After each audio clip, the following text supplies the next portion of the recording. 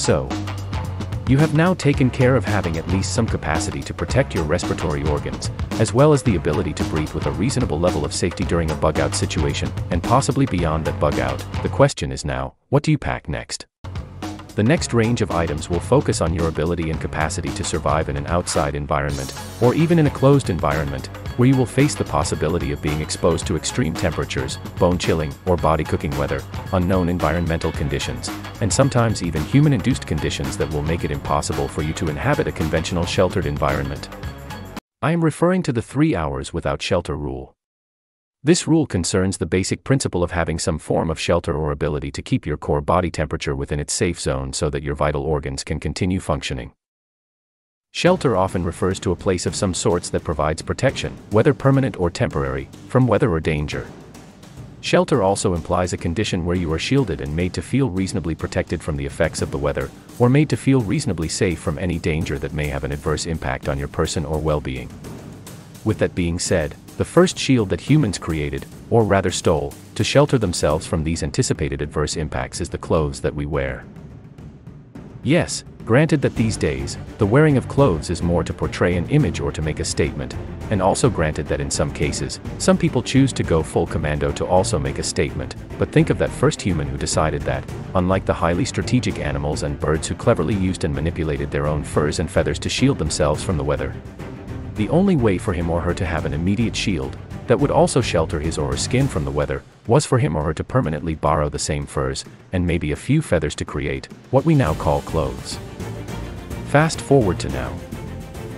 We wear winter woolies, raincoats, ballistic vests, firefighting clothing ensembles, socks, and various other types of apparel, including footwear, just to clothe our body and protect it from the weather, from flying bullets, from fire, or anything else that may pose a potential threat to our well-being, or be considered a danger to our immediate person, should that body part be left uncovered or unshielded. As a prepper, having shelter and being shielded, starts with clothes, or apparel if you wish. In some situations, you will have to evacuate with the clothing on your back. In that case, you may expect to wear the same clothing for an extended period of time. Where you have ample pre-warning, it is good practice to leave a set of appropriate clothing in one quick grab spot so that you can change quickly before you bug out. The clothing should preferably be of the outdoor type, that is, a strong tactical pants, not jeans, a t-shirt, a long-sleeved outdoor shirt, a jacket with rain hood, and a cap or beanie. Also keep a pair of outdoor shoes, not your favorite sport shoe, and a pair of thick socks in proximity to your bug out bag so that you can put on the shoes quickly before you exit. Whichever the scenario, you will need to have a spare set of clothing of the same type as I just described already packed inside your bug out bag. Also pack an emergency poncho, to protect the clothes on your back from getting wet if it rains, a set of decent leather or outdoor tactical gloves with good palm, and anti-cut protection, in case you have to crawl, or as a precaution against cuts in the event you have to find your way in the dark, as well as a scarf or shemagh. The shemagh is a scarf-type wrap commonly used in the Middle East and other arid regions that provides protection from exposure to the sun. When worn properly, it also protects the mouth and eyes from dust and sand. You can find a host of YouTube videos on how to tie and wear the shemagh properly. You will also need to have a decent sleeping bag, and a blanket, and at least some form of ground cover to prevent ground moisture from wetting your sleeping bag. Should you be purchasing a new sleeping bag, look for one that is relevant to the typical climate that is predominant in your area, travel route, or targeted bug out region, throughout any of the four seasons. A good tarpaulin is essential. A tarpaulin or tarp is simply a sheet of waterproof fabric that can be attached with a guy line, that is, a good cord or string, to trees, poles, your vehicle, rocks, or any other firm and stable object to anchor against in order to form a shelter.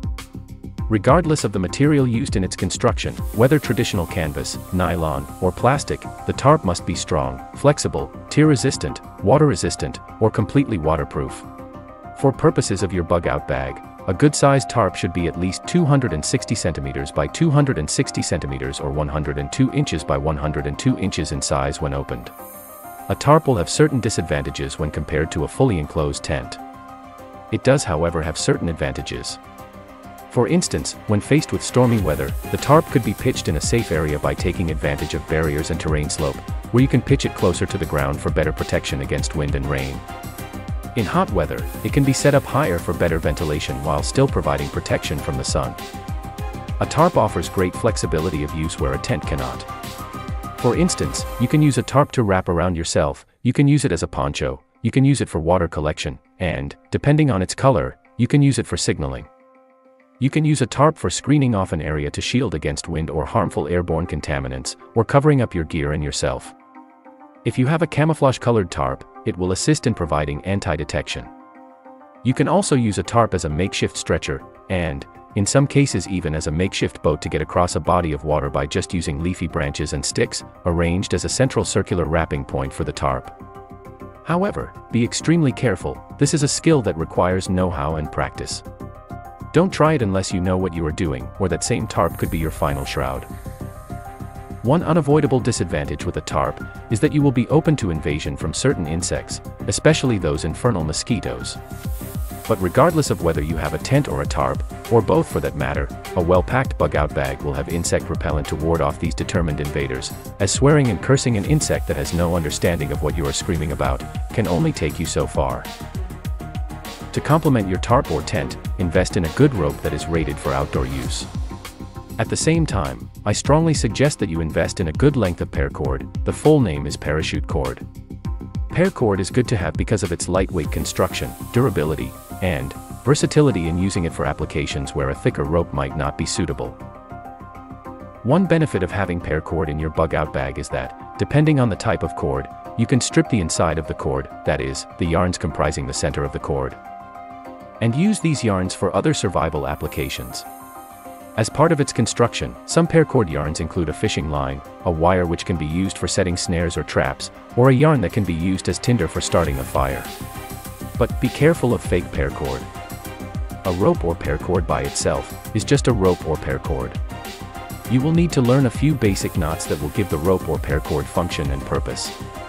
That shoelace knot or tie knot that you have known all your life is not going to keep your shelter tied down. One of the basic knots that you should learn to tie is the reef or square knot. This is an end knot that is used for joining two equal diameter lines together, like two paracords to make them longer. Another invaluable knot is the bowline knot. The bowline knot is used to form a fixed loop or eye at the end of the rope for fastening and securing loads, and for rescue operations, where someone can grab onto the fixed loop, or put the loop over their body and be pulled to safety. Then there is the clove hitch, or double clove hitch. This hitch knot is used to secure your lines around a series of posts, branches, or trees when you want the running end of your line to be adjustable. Lastly, there is the sheet bend. This knot is used for joining lines of different diameters, or of different construction materials together. If you do not know these knots or forgotten how to tie them, rest easy. There are a multitude of websites and YouTube videos that show you step by step. These basic knots are easy to master by any beginner, including children, and in fact can be learned in a day. You will need to have a survival saw, or a decent survival knife that can perform as a saw. This would be necessary where you need to cut tree branches to prop up your tarp or something else. Obviously, the saw or knife would be handy for cutting firewood as well, and for protection purposes. A survival saw can mean many things to many people. For some, it is a small, hardened steel saw with extremely sharp teeth that cuts on both push and pull, and then folds back into its handle when not in use. For others, a survival saw could mean a chain, a serrated link or wire saw that has grab handles on both ends, and rolls up to fit into your pocket, or a small pouch. A few space blankets is another must. The first aid kit that you bought would have come with a space blanket. Get a few more, they are cheap, known as a first aid blanket, emergency blanket, reflective blanket, or mylar blanket. A space blanket has one side tinted in silver, it looks like kitchen foil, the other side is usually in a gold or orange color. However, this blanket is not your typical kitchen foil. In first aid, a space blanket is used to prevent or counter the effects of hypothermia, that is, when the body temperature drops to an abnormally low level, and the body is unable to produce enough heat to counter the heat that it is losing. Its design reduces the heat loss in a person's body, which would otherwise occur due to thermal radiation, water evaporation, or convection. By design, the silver side must be facing your body to reflect and trap your body heat, up to 90% that would otherwise have been dissipated, to help prevent shock and hypothermia. There are added uses for a space blanket, especially when you are in a bind. For instance, if you have no option but to sleep inside your vehicle, and it's freezing outside, you can fix the space blanket against your windscreen or other windows from the inside of your vehicle with the silver side of the blanket facing inwards, towards you. This will assist in insulating and reflecting your own body heat back inside the car and creating at least some warmth. You can also easily use it as a quick shelter against rain and snow, as a sort of improvised tarp. If you have to huddle around a small fire to keep warm, you can open it and create a screen around yourself and the fire. When the silver side faces away from you, it can be used to deflect heat away from your body. An added benefit of the space blanket is that its silver side flashes in the sun, and it can be used as a signaling device to attract attention to your location, whether for help or regrouping. For now, I have tried to focus only on the concept of shelter as it relates to your ability to maintain the conditions in which you are shielded, and, made to feel reasonably protected from the effects of the weather, or feeling reasonably safe from any danger that may have an adverse impact on your person, or well-being should you not have that shelter. From the clothes that provide you with an immediate form of shelter, to having that tarp or tent, that sleeping bag, or that ability to cut out and make a shelter for yourself, to having something as simple as a space blanket, these are not hard to figure out, but they still require your personal commitment to getting it right from the outset.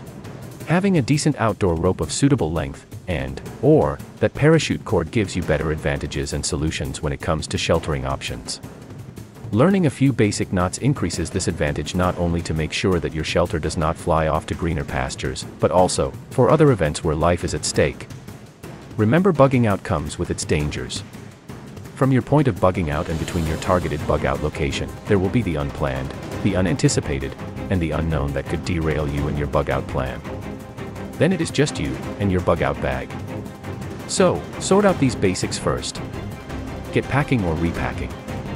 In the next video, I will cover the other basic supporting elements that you will need to have in your bug out bag that will enhance your sheltering abilities during a bug out and beyond. As always, think prepared, act prepared, be prepared. Subscribe to the South African Prepper. Like and share my videos with your family, friends, and colleagues since we are all in this together. Here you get real information, and fact based insights and guidance. I don't do opinion or BS. Preparedness is not a hobby. It is a way of life that could save your life.